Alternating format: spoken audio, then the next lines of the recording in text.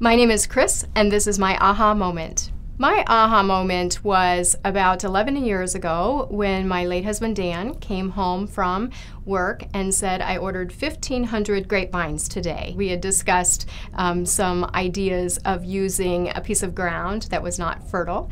Um, so while it wasn't a total surprise, it was kind of a shock to hear that, oh my, we are going on with it we planted the vineyard and then we started looking at what are we going to do with these grapes when they once they begin producing in five years. We decided to purchase an old historic building in our small downtown where dan and i both grew up and it was our town's harness shop. So we created the winery there.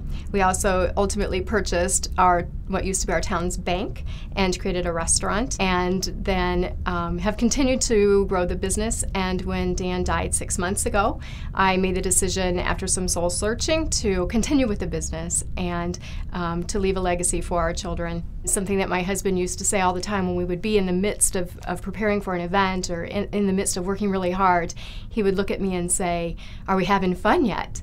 And that used to infuriate me because when we were working hard, and I would say, What do you mean, are we having fun yet?